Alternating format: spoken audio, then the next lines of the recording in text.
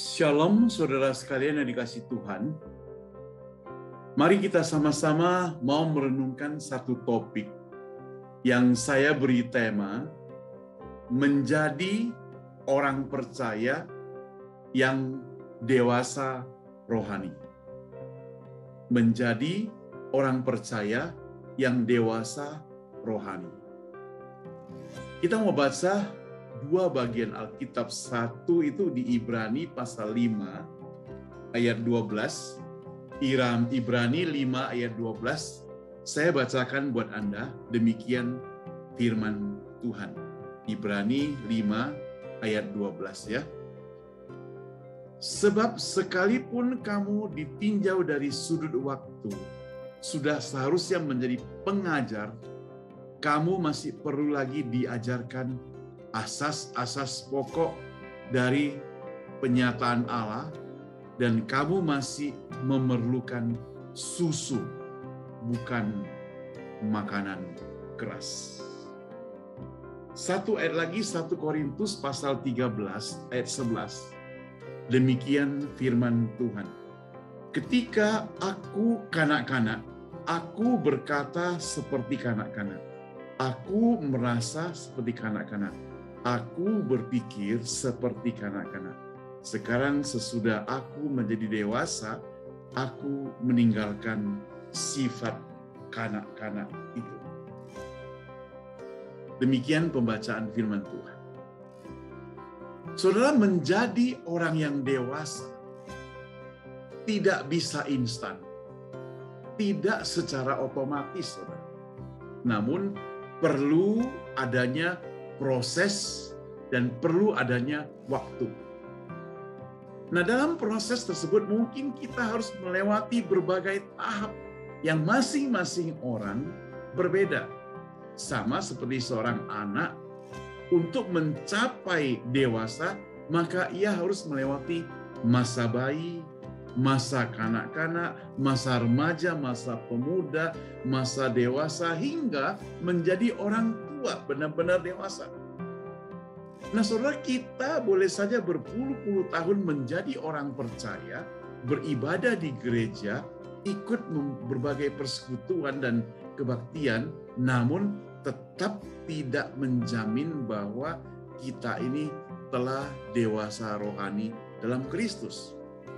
Itu sebabnya kita barangkali pernah mendengar istilah Kristen bonsai Pohon bonsai itu adalah semacam pohon yang sudah berpuluh-puluh tahun diikat, diikat, diikat. Dan pada tahun usianya yang tua, dia tetap kerdil, saudara. Karena memang dibentuk sedemikian rupa dan orang suka dia kalau kerdil. Lalu bagaimana dengan sesungguhnya jika kerohanian kita hendak bertumbuh, tidak mau kerdil, tidak mau jadi bonsai? Bagaimana caranya? Maka yang pertama saya mencatat di sini, saudara perhatikan baik-baik, perlu adanya komitmen untuk bertumbuh. Saudara, tadi kita telah mengatakan bahwa proses bertumbuh menjadi dewasa tidak otomatis, tidak instan. Namun perlu komitmen, kesabaran, dan komitmen itu harus dengan sengaja dilakukan, saudara, dan dipraktekkan.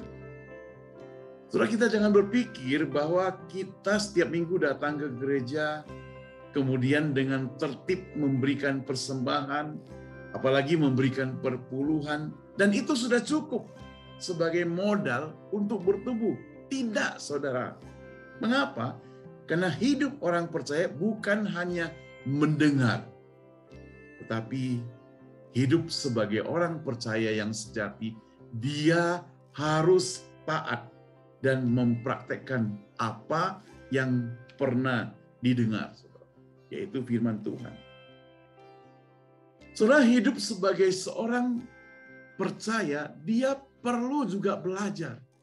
Maka firman Tuhan katakan, belajar seperti seorang murid yang duduk dengan baik, patuh mendengarnya. Firman Tuhan itu kadang bisa menegur kita. Tapi firman Tuhan menasehati kita juga. Bahkan firman Tuhan juga bisa membuat kita lebih semangat lagi. Jadi ada teguran, ada nasihat, ada memberi semangat. Semuanya itu harus diterima oleh orang percaya. Jangan kita hanya mau enak-enak saja. Pada waktu dengar firman Tuhan yang berupa nasihat, berupa encourage, mendukung kita atau memberikan semangat, kita senang. Tapi berupa teguran, kita sakit hati. Mau sakit hati sama siapa? Sama Tuhan kah? Saudara, kita tidak jarang menemukan orang-orang yang sudah mengerti pengetahuan Alkitab, namun tetap hidupnya tidak sesuai dengan Alkitab. Gosip tetap saja berlangsung, omong kotor tetap diucapkan, dendam tetap ada dalam hatinya, sakit hati, tidak ada pengampunan. Semua ini dapat terjadi dan kalau orang tersebut tidak ada komitmen dalam dirinya untuk bertumbuh. Dia tahu firman Tuhan, dia mengerti, dia mendengar, dia memahami. Tetapi dia tidak mau taat tidak mau bertumbuh. Dr. John Chamber, dia seorang misionaris yang pernah melayani di Indonesia dan saat ini melayani di mahasiswa-mahasiswa di Amerika Serikat, pernah mengucapkan kalimat begini. Dia katakan, orang Kristen tidak diminta Tuhan menjadi salesman, tapi ia diminta untuk menjadi free sample. Jadi dalam teori ekonomi, yang dimaksud dengan free sample sudah pasti produk yang mutunya baik. Kalau engkau mau berikan yang free sample, berikan produk yang tidak baik, jangan harap orang membeli barang Anda, produk Anda. Nah, saudara, saya merasa sayang sekali. Ada banyak free sample yang pada mulanya waktu free sample baik, namun sesudah menuju kepada produknya, hasilnya itu jelek. Saya yakin orang hanya beli satu kali, tidak beli lagi. Di beberapa video di YouTube, saya memperhatikan ada video yang dengan sengaja direkam, tapi tanpa sepengetahuan orang tersebut, yaitu para penjual barang-barang berupa buah-buahan, atau apa saja di pasar, kemudian orang sudah memilih, pembeli sudah memilih, waktu ditimbang tiba-tiba dia tukar dengan apa yang sudah dipersiapkan, sudah dibungkus, itu diserahkan. Jadi sama seperti waktu kita coba makan free sample salak manis. Dan kita beli satu bungkus kita sudah pilih dengan bagus-bagus. Tapi waktu ditimbang, mungkin karena silap mata, dia ganti penjualnya. Kita bawa pulang ke rumah, asam. Saya jamin kalau sudah begini, hanya sekali kita datang. Nggak akan balik lagi. Nah, kalau engkau sebagai pengusaha yang mau cari keuntungan, tentunya tidak bisa demikian. Hanya sekali. Nggak mungkin demikian. Kekristenan juga demikian. Pada saat permulaan kita mengenal orang percaya yang menjadi kesaksian tersebut, kita maunya orang tersebut tetap menjadi kesaksian idola kita. Dalam persekutuan di gereja, maka orang-orang itu mungkin bisa baik sekali, kelihatannya sangat rohani, suci. Namun saudara, pada prakteknya orang tersebut masih belum sungguh-sungguh mau taat kepada firman Tuhan. Jadi hanya pencitraan, hanya supaya dilihat orang, dan aslinya itu keluar. Saudara yang saya kasih Tuhan, kita memang aslinya itu adalah manusia lama. Tapi kan kita masing-masing sudah diperbaharui. Jadi kita akan berusaha minta pertolongan daripada Tuhan supaya asli kita tersebut. Manusia lama kita itu buang jauh-jauh. Jadi dengan tegas saya ingin mengatakan bahwa tidak ada gunanya segudang teori entah seminar, konferensi, bahkan sekolah Alkitab yang pernah kita ikuti kalau kita tidak punya komitmen untuk bertumbuh. Persekutuan itu dianggap seperti organisasi sosial. Kumpul-kumpul makan, kumpul-kumpul berteman, hihihi, haha, tertawa. Tapi ada masalah sedikit, sakit hati. Orang percaya tidak boleh demikian. Kalau engkau sungguh-sungguh percaya pada Tuhan, semuanya itu bisa diselesaikan. Dalam Kristus ada kasih. Itu kedewasaan iman. Dalam Kristus ada pengampunan. Itu kedewasaan iman. Dalam Kristus ada saling membantu. Itu kedewasaan. Saudara yang saya kasih Tuhan, segudang ilmu, segudang harta bendamu, tidak akan ada gunanya kalau iman kepercayaan kita kerdil seperti bonsai. Bagi Tuhan itu tidak ada gunanya. Saudara, kalau tadi yang pertama perlu adanya komitmen untuk bertumbuh. Maka yang kedua, saudara, catat perlu adanya pembaharuan hidup yang nyata. Nah, saudara, berhubung manusia sudah berdosa, kita adalah orang-orang berdosa, maka akar manusia lama kita itu tetap lengket dalam hidup kita. Kita sudah minta pembaharuan daripada Tuhan, tetapi kadangkala kita tidak jaga-jaga baik-baik, tidak mempertahankan ketekunan kita kepada Tuhan, maka kadang bisa muncul dalam kehidupan kita. Mohon ampunlah kepada Tuhan, apalagi menyangkut kepentingan pribadi, maka ada banyak orang percaya yang kadang bisa lupa diri, saudara. Itu sebabnya saudara di dalam Kristus pun orang-orang percaya sesama percaya bisa dikorbankan, saudara. Nah, hal semacam begini yang menjadi batu sandungan bagi orang luar. Mereka bilang, ah, percuma dia orang Kristen. Ah, percuma dia datang ke gereja. Ah, percuma dia memberikan pertolongan, tapi hatinya tidak sungguh-sungguh. Saudara kita perlu ingat bahwa terlalu sering orang percaya itu sendiri menjadi penghalang utama bagi orang luar untuk menjadi percaya. Mengapa? Karena si orang percaya tersebut tidak ada pembaharuan dalam hidupnya, tidak mau diubah, berkeras hati. Alkitab mungkin sudah berulang dia baca, Bahkan ada puluhan ayat yang sudah dihafal, sudah luar kepala. Ia juga memiliki Alkitab yang lebih daripada satu, mulai dari ruang kamar, ruang tamu, mobil, bahkan di restroom ada Alkitab. Saudara yang saya kasih Tuhan, tetapi semuanya itu tidak membantunya menjadi lebih dewasa. Karena ia tidak pernah membiarkan dirinya mau dipembaharui oleh firman Tuhan. Saudara yang saya kasih Tuhan, maka tatkala semuanya berjalan lancar, hidupnya lancar-lancar, aman, diberkati Tuhan, puji Tuhan. Namun begitu kesulitan menimpa, sayonara Tuhan. Ini membuktikan dia atau orang tersebut adalah orang percaya yang tidak dewasa. Nah, saudara, jika hari ini kita rindu menjadi orang percaya yang dewasa, maka kekristenan kita harus didemonstrasikan setiap hari atau diwujud nyatakan dalam kehidupan kita sehari-hari.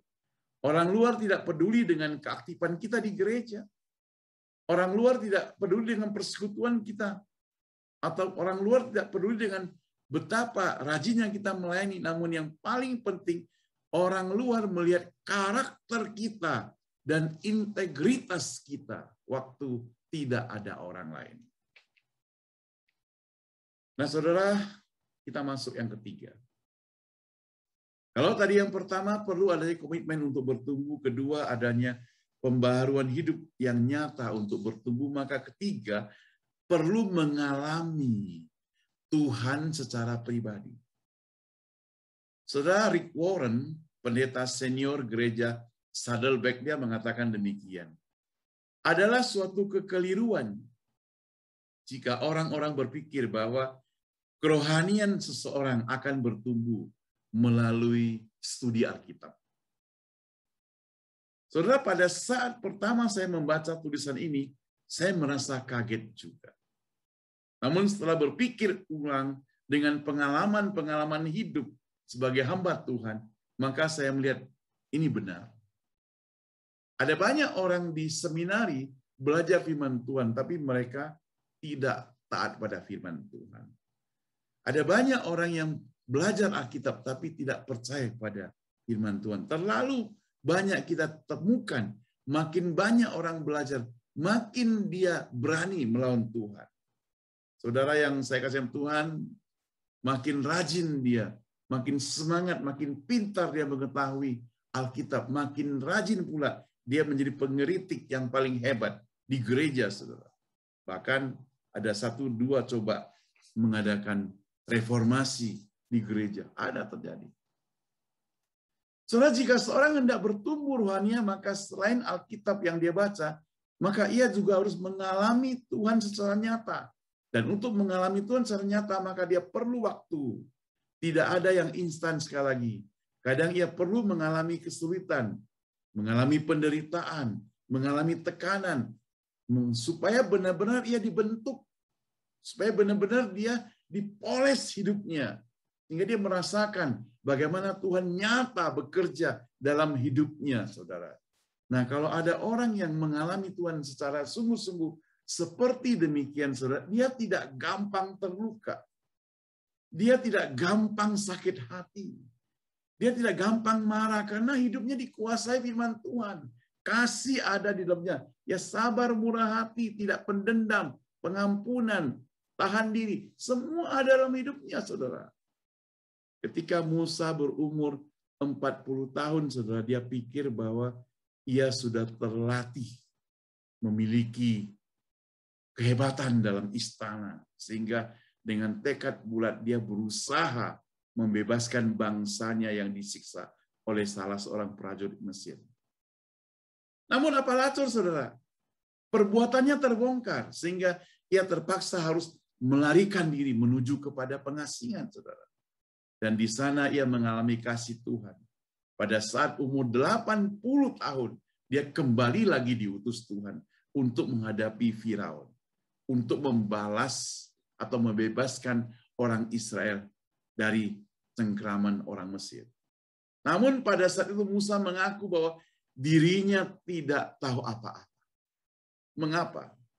Karena orang yang sudah mengalami Tuhan, Walaupun ia penuh dengan segudang ilmu, keahlian, kepintaran, dan kepandaian, dia tidak mau mencondongkan dirinya. Dia tidak mau mensombongkan dirinya, apalagi di hadapan Tuhan. Dia merasa rendah di hadapan Tuhan. Ini kita belajar dari Musa. Saudara, studi Alkitab tidak cukup. Kita perlu pengalaman menyembah kepada Tuhan mengalami bersekutu dengan dia, mengalami Tuhan, merasakan kasih Tuhan, merasakan bimbingan Tuhan. Dengan demikian kita bisa dengan rendah hati datang kepada Tuhan. Kita tidak akan sombong. Kita akan datang kepada Tuhan dengan penuh kasih pengampunan. Dalam hidup kita, kita menjadi orang yang diteladani. Dengan demikian, saudara kita bukan hanya dibangun dari sisi otak kita diisi, tapi juga hati kita diisi. Sehingga kita benar-benar menjadi orang Kristen yang bermutu. Nah, saya yakin kita semua yang benar ini pengen menjadi orang Kristen yang dewasa. Nah, kalau kita pengen menjadi orang Kristen dewasa, mari kita evaluasi hidup kita. Apakah kita benar-benar sudah taat pada firman Tuhan dan mempraktekkannya. Kalau kita hanya mengetahui dan belum mempraktekkannya, saudara jangan harap kita bisa menjadi dewasa. Kita sama-sama belajar. Kita sama-sama belajar. Engkau dan saya sama-sama belajar. Mintalah pertolongan kepada Tuhan. Supaya kita kelak menjadi orang percaya yang benar-benar dewasa. Terima kasih. Tuhan memberkati kita sekalian.